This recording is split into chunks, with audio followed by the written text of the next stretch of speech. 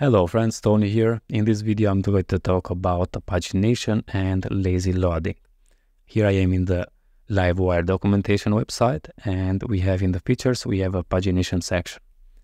And here we can see Laravel's pagination feature allows you to query a subset of data and provides your users with the ability to navigate between pages of those results. Now, because Laravel's paginator was designed for static applications, in a non-Livewire app, each page navigation trigger a full browser visits to a new URL containing the desired page. So for example, uh, page 2. However, when you use pagination inside the Livewire component, users can navigate between pages while remaining on the same page. So Livewire will handle everything behind the scenes, including the URL query string with the current page. Okay, and here we have an example. So you must use the with pagination trait. We need to use that trait to uh, see that a single page application look like. And we can say on the class use with pagination and we can import that from the Livewire with pagination. And then on Blade, we can do just do the Laravel stuff calling post links.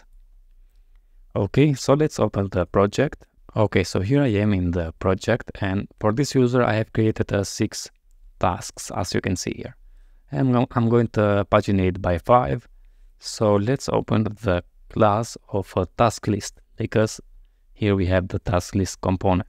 Okay, so let's open first the tasks list class and in here when you get the, the tasks for this user I'm going to use task pagination. Paginate by uh, 5 and let's save. Now, as you can see here, we have 6, but if I refresh, yeah, now we have only 5 because we paginate by 5. Now let's open the blade. So let's say tasks list blade and here we make a for each. After this for each, I'm going to add a div and say with a class to be margin top of 2, margin bottom I'm going to say 12, and padding of 2. And in here I'm going to render the pagination. So I'm going to say dollar sign tasks and call the links method. Now, as you can see, we have 5 and there we have a pagination. If I click the 2, we navigate the page 2, but as you can see, we navigate like a Laravel application. So it's going to be reloaded here. As you can see, we have reloading here. Now let's use that with pagination trait. Okay, so let's go to task list class and here when we use that trait, so with pagination and save, also make sure you use with pagination here, import that. And just by adding that, if I refresh, and let's go to, we are in the page one, as you can see up here. If I go to page two, we have a single page application. No reloading, very fast. And just by adding this with pagination in our class. Okay, that's it all about what I wanted to show you about pagination. We have more here, but this is going to be if we want to deep dive into pagination. Now let's go to Livewire lazy loading feature. So Livewire allow you to lazy load components that would otherwise slow down the initial, initial page load. So for example, we have here an example, and then to enable the lazy loading, you can pass the lazy parameter in the component just by doing this, adding the lazy uh, parameter into the component. And what where we can do that? In the tasks index blade. When we render the task list because I'm going to lazy load the lists here I'm going to just add here lazy like this. If I save and as you can see, if I refresh, first it's going to show the form and then the list.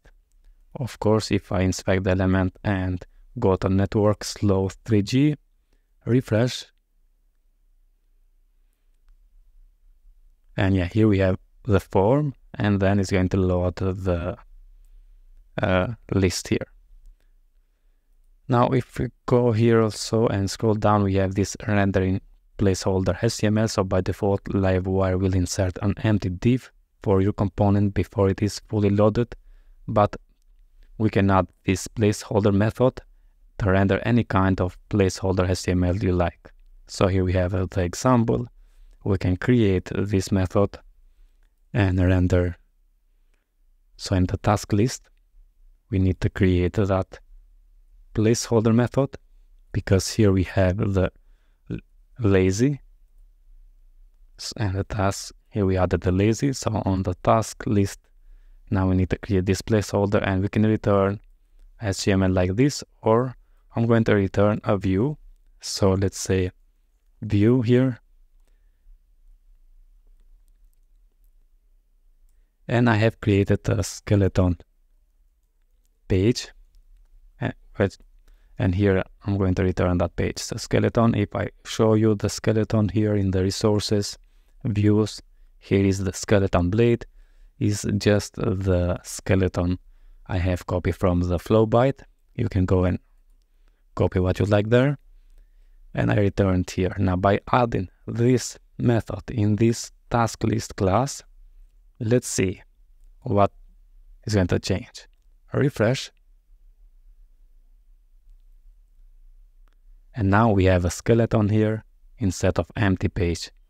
Very nice, very beautiful just by, by adding this method and of course the skeleton page or you can add directly the in the HTML here, that skeleton or the SVG you like.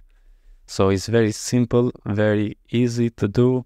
And of course, so rendering a placeholder via view, what I have done, you can add also parameters here Okay friends, that's it all about this video. What I wanted to show you, the lazy loading and pagination, how we can work with Livewire is very easy. All the best and don't forget if you like such a video, subscribe to my channel, uh, like the video, share with your friends and all the best. Thank you very much and see you in the next one.